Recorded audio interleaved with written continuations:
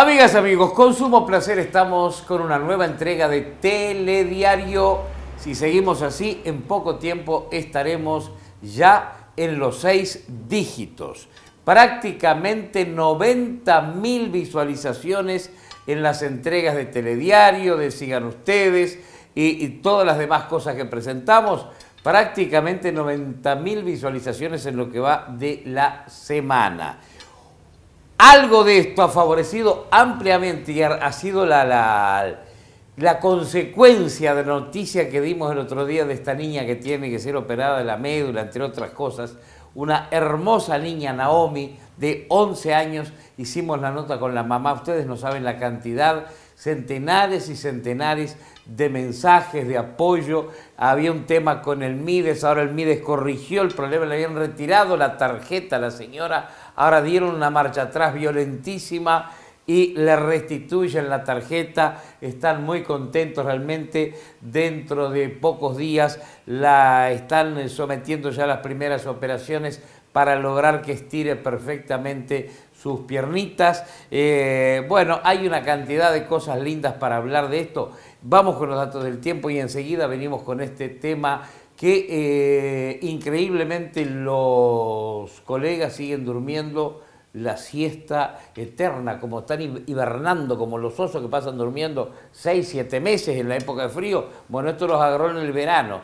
Eh, una cosa impresionante, nadie más se ha hecho eco de lo que estamos haciendo nosotros para solucionar, para ayudar a solucionarle la situación a la pequeña Naomi. Vamos al tiempo.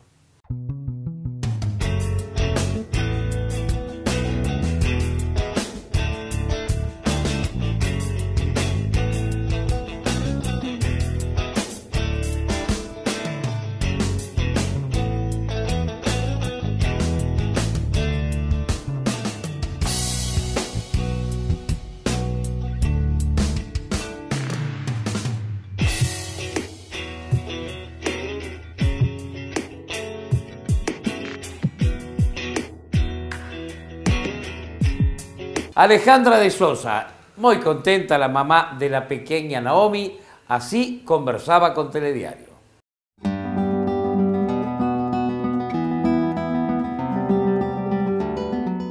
Yo le agradezco a toda la gente y a ustedes porque a los dos días por ahí que ustedes metieron la mano, el MIDE me llamó y me dijo que tenía un mail de Montevideo para decirme que me devolvía la tarjeta por un año hasta que, yo hasta que se me cumpliera el, contrato de la casa que estoy.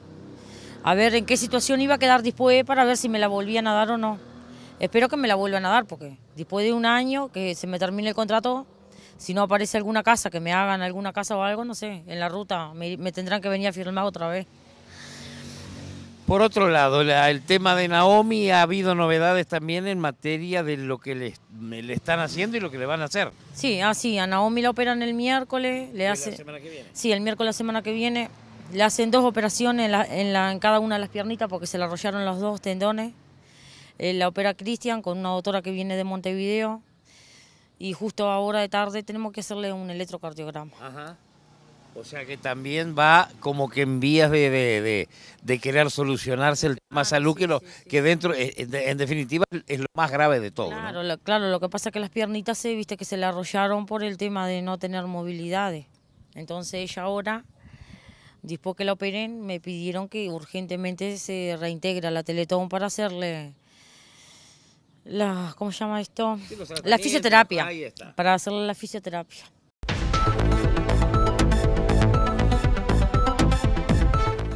También conversamos con la pequeña Naomi, Naomi Royano, 11 años, hace dos años que está en una silla de ruedas, pero de todas formas vienen las maestras a la casa, está terminando sexto año y todavía no sabe qué va a hacer en el futuro. Presentan este espacio Cepi Motos y Cepi Motors. Bien. Bien. ¿Cuánto tiempo hace que estás en esta situación? Ya casi dos años, ¿no? Sí. ¿Estás residiendo? ¿Vienen a darte clases de sexto año? ¿Estás terminando sexto año? Sí. Muy bien. ¿Y qué vas a hacer futuramente? ¿Comenzás liceo? Sí. Muy bien. ¿Y qué te gustaría hacer? No sé. Cuando termines el liceo, ¿qué te gustaría hacer? Cantante, luego tenés fotos de cantante y esto. Ah, pero ¿Te no. gustaría ser doctora? ¿Qué, qué cosa te gustaría hacer? No sé todavía. ¿Sí? ¿Te aburrís mucho acá? ¿Tenés No. la computadora? ¿Te entretenés? Sí. ¿Crees en Dios? Sí. ¿Qué le pedís a Dios? ¿Que te dé una manito? Sí. ¿Sí? Muy bien, perfectamente. Novio todavía ni que hablar, ¿no? ¿Qué edad tenés tú? 11. 11 años, Naomi. Preciosa y Dios te va a ayudar. Vas a ver que sí. En muy poco tiempo vas a ver que vas a andar haciendo una vida totalmente normal. ¿Sí, hija? Sí. Muy bien.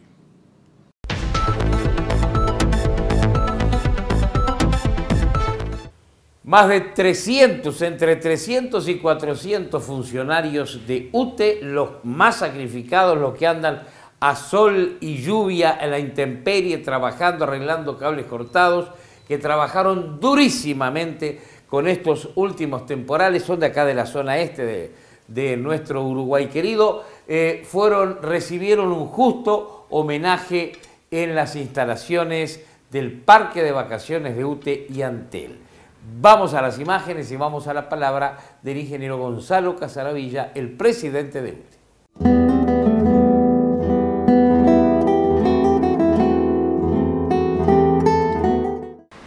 Pero fíjense que estamos justamente en este reconocimiento eh, haciendo referencia a un momento muy particular de la prestación del servicio, que es justamente el momento después, ya ni siquiera el después, el momento después de que tenemos algún accidente climático, ya sea un temporal, como el que fue el Dolores, que realmente fue muy, muy significativo, las inundaciones o este, la- las turbonadas que hubieron, digamos, en la costa, caída de árboles, etc. Y el otro día alguien me hacía una referencia de que justamente en ese momento, en ese momento posterior, que muchas veces nos agarra en la noche y ahí sí tenemos que andar cuidado justamente por temas... este, pero lo primero que se ve cuando empieza a aparecer la, la luz del día, digamos, y que podemos trabajar con seguridad, también muchas veces en la noche, porque también hay que salir de noche, porque hay situaciones de urgencia que se tienen que atender eh, en el momento. ¿no? Pero lo primero que se ve justamente es a la gente de UTE.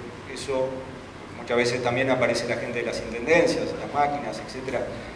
Pero la gente de UTE claramente está presente y dice presente.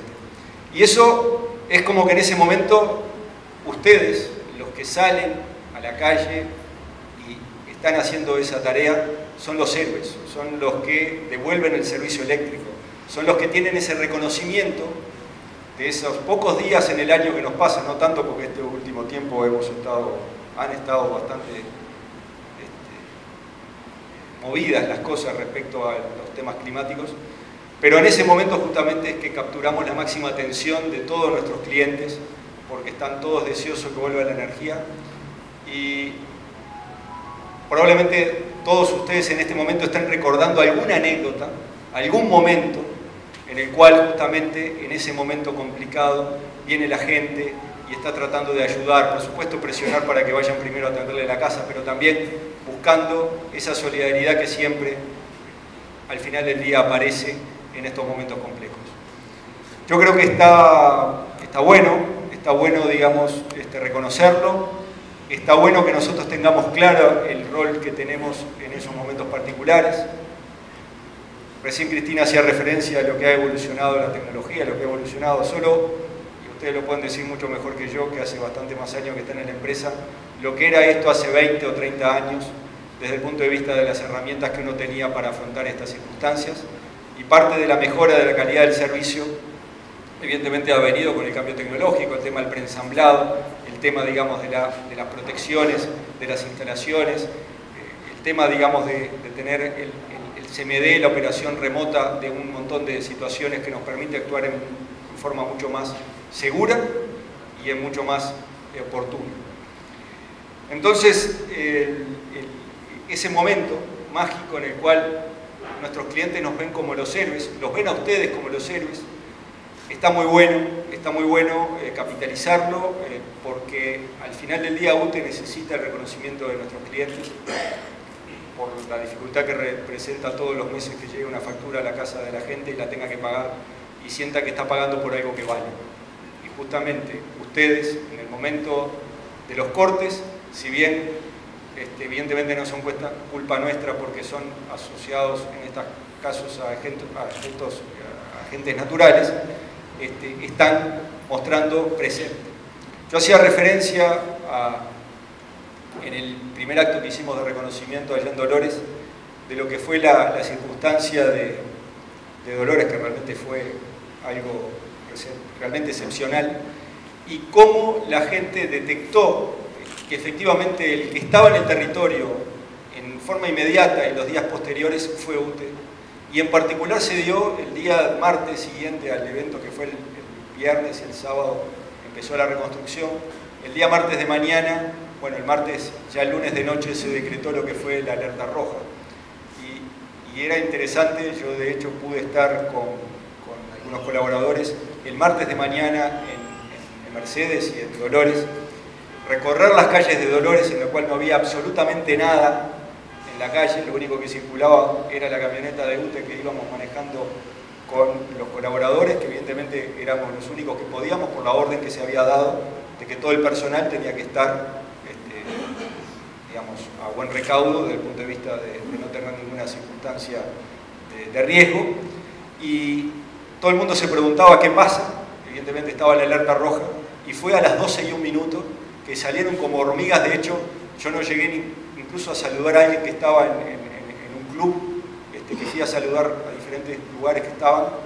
Este, si aquí hay alguien de, de 33, muchas gracias por el guiso que no comí, pero la verdad que me quedé con las ganas de, ver ese guiso que estaban preparando ahí este, en- en uno de los clubes que estaban allá en Dolores. Y fue a las 12 y un minuto y salió toda nuestra gente y las empresas contratadas que teníamos en el territorio y enseguida llenaron el espacio. Y bueno, y cumplieron con el desafío de recuperar Dolores.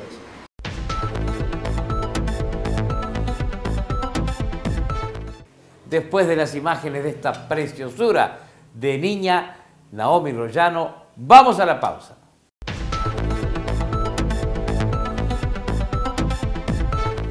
¿Sabías que si pasa el tomaconsumo de UTE por tu casa y no hay nadie, podés tomar el consumo vos mismo y enviarlo online? Así vas a recibir la factura por el consumo exacto del mes y vas a tener más control de las cuentas de tu hogar. Descarga la app de UTE en tu teléfono móvil y aprovecha este y otros beneficios que tenemos para vos. Innovamos para estar más cerca. UTE, la energía que nos une. Llegó la última y la tenemos en test drive para que la pruebes y la lleves. Nueva Ford Ranger, totalmente renovada.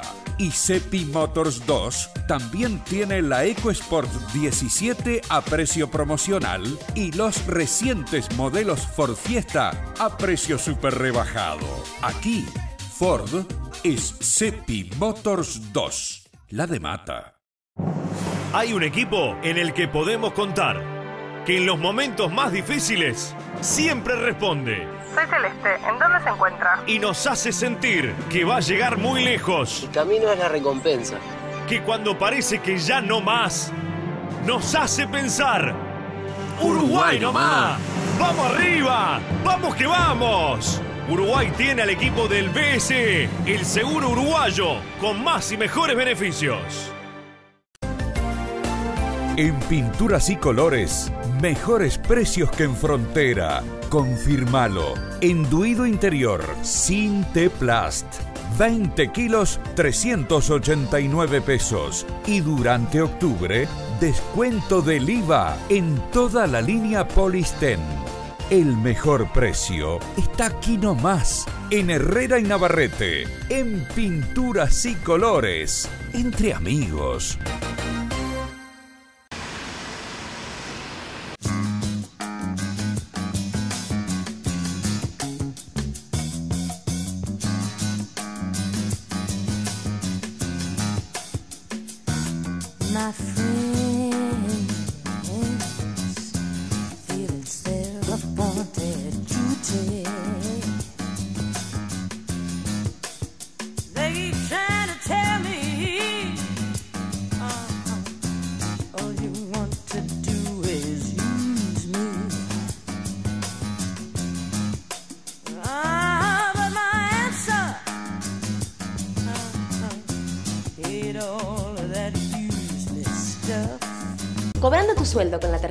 ANDA tenés muchos beneficios. Además de los descuentos de IVA en comercios, de ANDA te da más beneficios y descuentos. Este mes cuando pagues con tu tarjeta de ANDA en almacenes y supermercados, tenés 10% de descuento.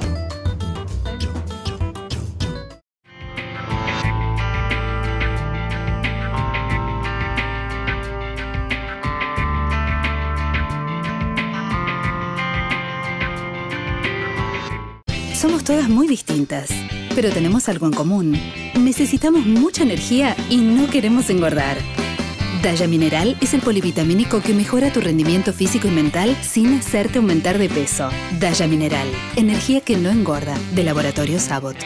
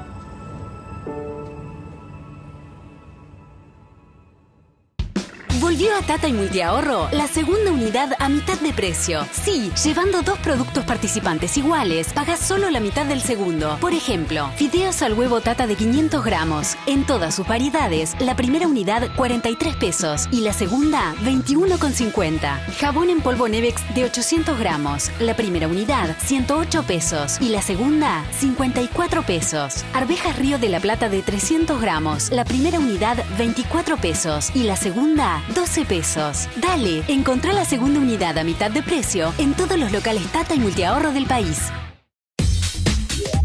Subite a la promo de las motos Pollerita en Cepi Motos. Todas las Baggio, Jumbo, Motomel y Kiwai a precios de ocasión.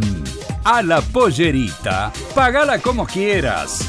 Con casco y empadronamiento de regalo. Cepi Motos. Gente que sabe de motos. Y hasta fin de año en Cepi, todas las motos a precio contado en 10 cuotas sin recargo. Llegó Vogue, la marca de maquillaje que da color a lo mejor de ti. Llena tu vida de colores y sentite linda en la mañana.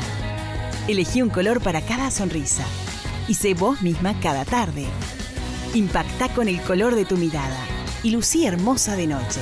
Un mundo en color de larga duración a un precio increíble. Vogue, la marca de maquillaje que da color a lo mejor de ti. Desde que llegaste tú, sentí tu calor iluminando mis días. Desde que llegaste tú,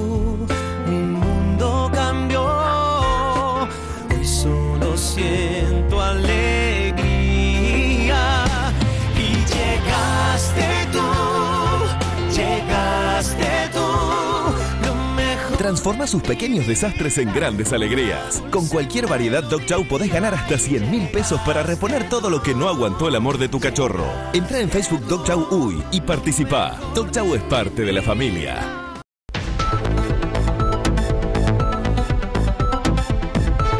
Cristina Arca, integrante del directorio de UTE, también habló sobre este acontecimiento.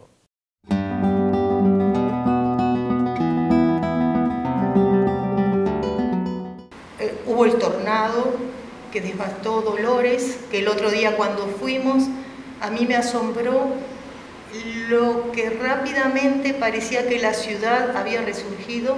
La gente de Dolores me decía, pero es la fachada, Cristina, en realidad uno pasaba atrás de muchas casas o el último piso del liceo y todavía el último piso es solo la fachada, atrás de donde nos reunimos también había parte del edificio demolido. Y así sucesivamente, prácticamente casi todos los meses hubo, eh, creo que en un mes nada más, porque yo me anoté por acá, en realidad agradezco a Luis García, eh, solo un mes que fue eh, junio prácticamente no hubo nada. Hubo ciclones estratropicales por esta zona, primer ciclón estratropical, segundo ciclón. Y, realmente hemos salido de todos esos eventos eh, con una rapidez que en otra época era difícil de pensar. Eh, estoy hablando en parte por la gente de distribución, pero también la gente de comercial, que todas las inundaciones que hubo para Rocha, para 33, respondieron rápidamente en el ir, inspeccionar, ver si hay necesidad de cortar, cortar y reponer otra vez. O sea, un trabajo conjunto de todos los compañeros de la empresa. Muchos de los que están acá probablemente hayan ido a Dolores a apoyar y la gente de la centro también. Y ahí también se trabajó en una forma, una rapidez enorme y eso reconocía los ciudadanos de Dolores de que nunca pensaron que tan rápidamente iban a tener otra vez luz eléctrica, por lo menos en la primera etapa, ¿no? tener algo con que alumbrarse. Eh, nosotros en realidad estamos trabajando con, con, todo este esfuerzo este año y a veces eso imposibilita el transcurrir normal de la etapa y nos quedan algunas cosas pendientes porque tuvimos que apagar algunos incendios. Pero en realidad creo que en ese sentido todo, todos los compañeros, todo el mundo respondió y los funcionarios de UTE y las empresas contratadas también. Todos apoyaron todas las calamidades que hubo y es una cosa que se agradece. No solo agradecemos desde el punto de vista empresa, agradece la población, porque recordemos que un tiempo, unos años atrás, no tan lejanos, fines de los años eh, este, 1900 eh, y principios del 2000, muchas veces cualquier evento de esta magnitud tenía una respuesta más lenta en el sentido de que o no había eh, los medios tecnológicos que hay ahora o no teníamos, eh, la ciencia también ayuda y aparte la voluntad de todos los compañeros. Yo creo que esto es una de las cosas que más valora la población de UTE. No solo valora en Uruguay, sino que también en América Latina vemos las encuestas de CIER y la calidad de suministro está muy bien valorada.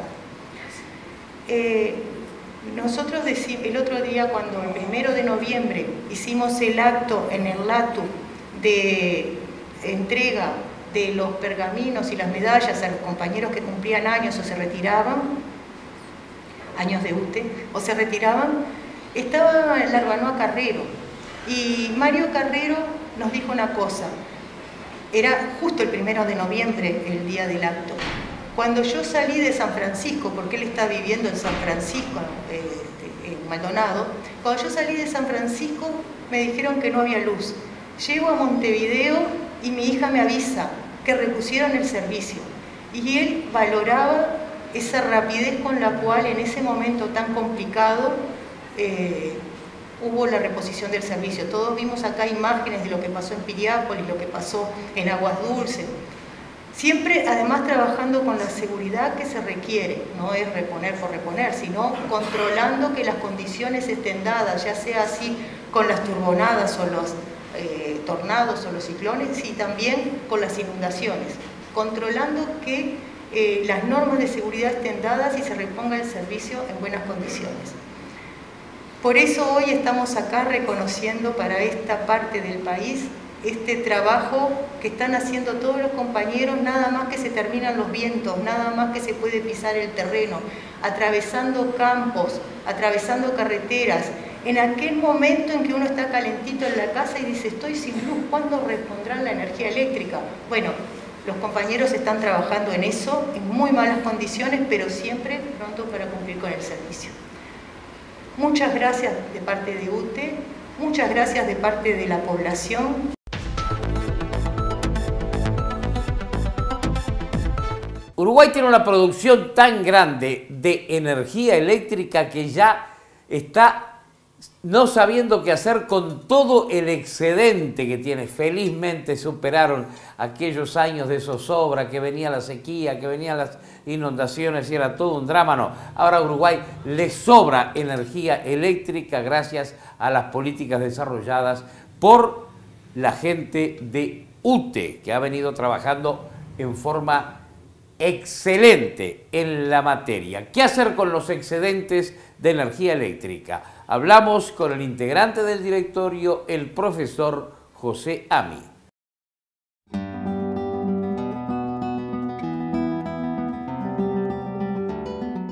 Bueno, parece bastante increíble que hace algunos años el gran desafío que teníamos era tratar de esforzarnos para dar cumplimiento a la demanda que teníamos.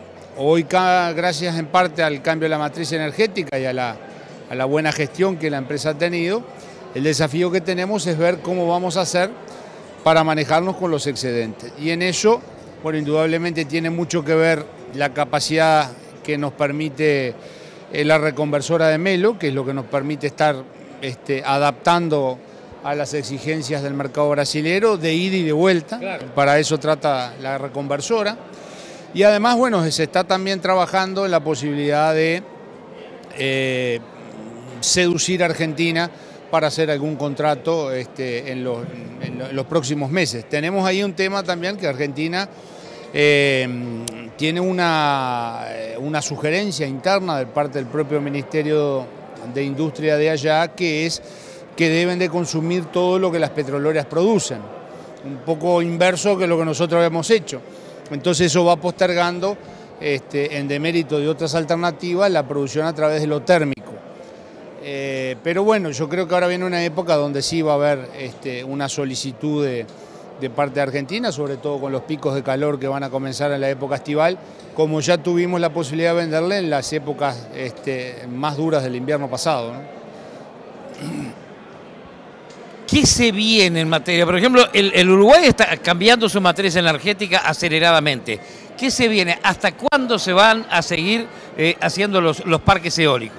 Bueno, nosotros tenemos una sección completa que es casi un piso del Palacio de la Luz, que es planificación, que precisamente allí están los profesionales trabajando acerca de qué es lo que se va a hacer para el futuro. Y bueno, lo- los números que tenemos estimativos es que si no hay un aumento desmesurado de la, de la demanda, cosa que no se prevé en el horizonte, el, el aumento del crecimiento es bastante constante, eh, salvo que viniera dentro de 4 o 5 años una empresa que hiciera una demanda que estuviera fuera de lo normal. Pero de no pasar esto, eh, creo que hasta el 2021-22 no se van a estar habilitando nuevas instancias de convocatoria de inversores para parques eólicos porque con lo que tenemos es más que suficiente. Alcanza, sobra. Exacto. Y el tema del petróleo, por ejemplo, ¿cu- ¿cuáles otras fuentes de energía hay, se están utilizando? Nosotros ahora estamos, toda la atención de la demanda se está haciendo fundamentalmente con hidroeléctrico, biomasa, fotovoltaica y eólica. Si el petróleo prácticamente nada. No, salvo en algunos casos concretos donde, bueno, hemos tenido o por un problema con una falla en una conexión o por, por ejemplo, cuando tuvimos el incidente de la caída por, por unos minutos de todo el sistema por el famoso incidente con, con los caranchos, que aunque la gente Sí. le, le costase eh, creerlo, realmente existió y sucedió, tuvimos las pruebas de eso. Y bueno, y eso también traía que, bueno, en la corta y en el mediano plazo, los desafíos de la atención de la demanda se van a ir haciendo en ese sentido. Hemos tenido una gran ventaja que han sido años que tenemos buena hidraulicidad, o sea, tenemos los, los- todos los embalses están llenos de agua, por suerte, pero no siempre va a ser así. En algún momento, este, Dios no quiera, pero nos puede azotar una sequía.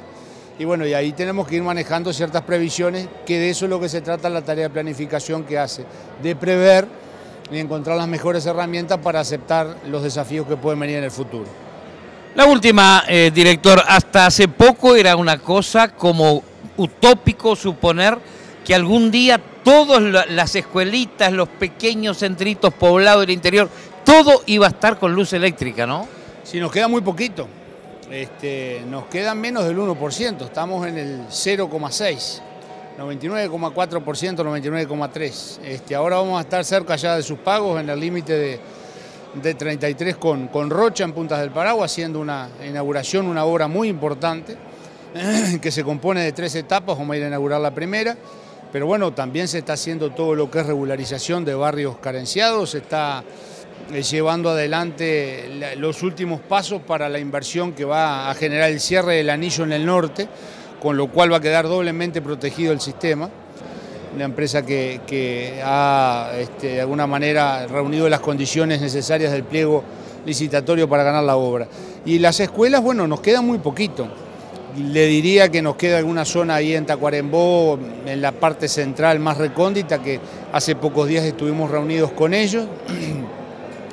Nos queda algo en Artigas, que ya se están terminando las obras, algo en Salto y algo un poco más en el departamento de Cerro Largo y Rocha.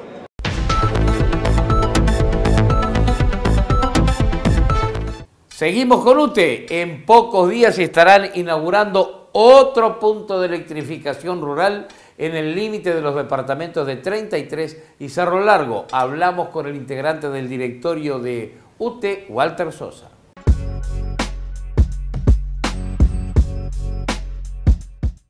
en lo que es la electrificación rural. Eh, dicho sea de paso, ya empezó a funcionar la comisión de interinstitucional de electrificación rural, ya tiene nuevos proyectos, este, eh, nuevas obras, digamos, este, para realizar en el marco de lo que fue la aprobación al principio de esta administración del, presupuesto para electrificación rural, que es de 20 millones de dólares. Y en concreto, digamos, en las fechas que usted mencionaba, estamos manejando inauguraciones en los departamentos de Rocha y este, Cerro Largo 33. En el caso concreto de Cerro Largo sería algo compartido eh, con el departamento de 33 porque es Puntas de Parao, una zona, digamos, este, realmente creo que en todos lados es importante la energía eléctrica, ¿no? Este, porque sabemos lo que implica en el cambio de vida este, de la gente. Pero en este caso eh, que yo he, ido personalmente a, a visitar la zona, es una zona eh, digo, de situación socioeconómica, digamos, vulnerable, este, que creo que si a todos les viene bien la energía eléctrica, creo que a ellos les va a ser, este, es una gran necesidad. ¿Cómo está? ¿Qué está quedando en la campaña en lo que tiene que ver con la tan ansiada, anhelada electrificación rural? Bueno, lo que está quedando es lo más complejo porque, bueno, es lo que está cada vez más lejos de las redes de UTE.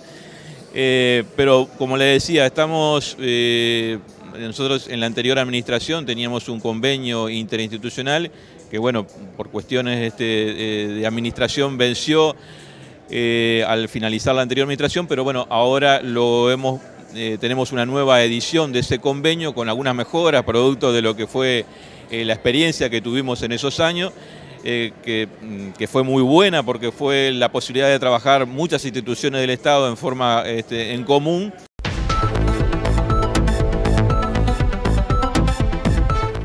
Ahora cambiamos totalmente el ángulo de la información y nos vamos con una muy buena. Es impresionante cómo están trabajando los hoteles de nuestro país, fundamentalmente en Montevideo y la- las zonas eh, más importantes que tienen más atractivos turísticos. Es un fenómeno que hace ya varios años no se daba. Hablamos con un alto ejecutivo de la industria hotelera, el buen amigo Sami Arlin.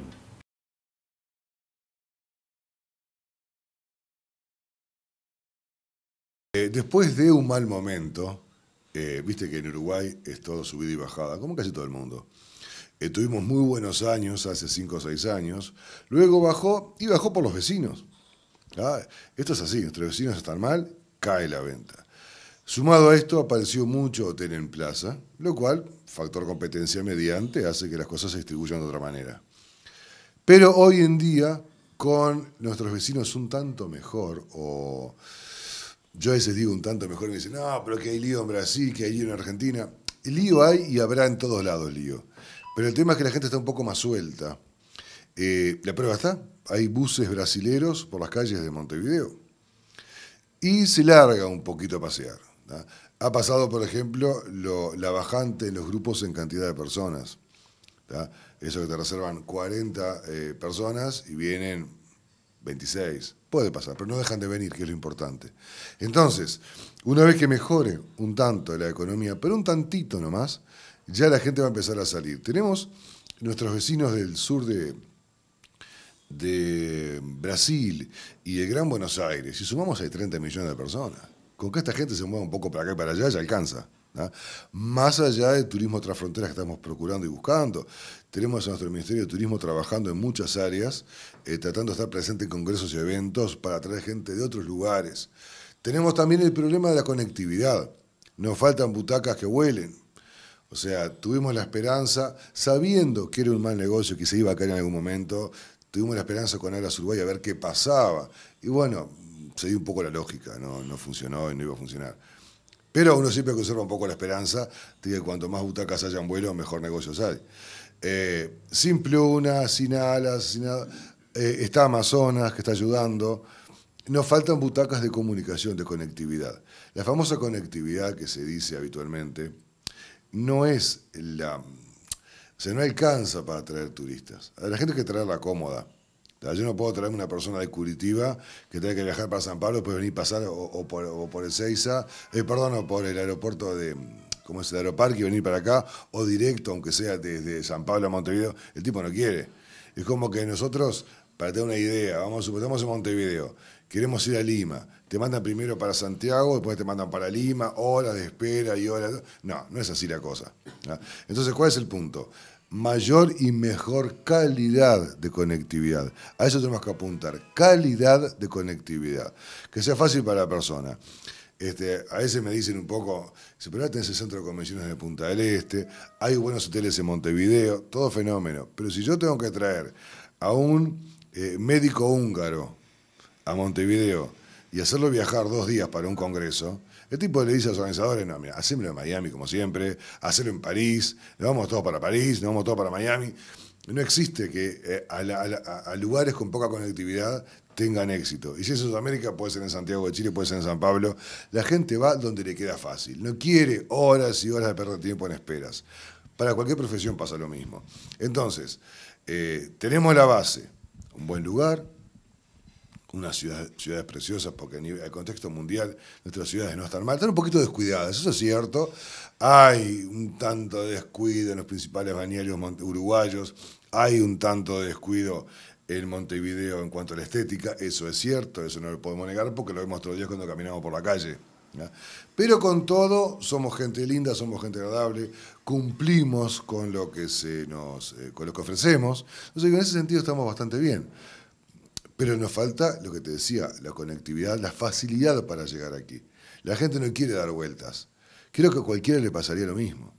Yo no creo que muchos uruguayos vayan a un congreso en Zambia.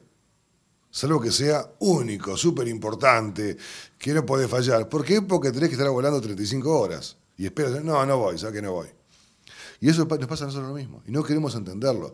Los uruguayos somos muy ombliguistas. Nos miramos el ombligo y pensamos que es el centro del mundo nuestro ombligo. No, señor. Estamos lejos, estamos apartados, es difícil llegar hasta aquí y los eh, vuelos son caros e incómodos. Eso hay que entenderlo para saber dónde estamos parados y en base a qué partimos para trabajar bien.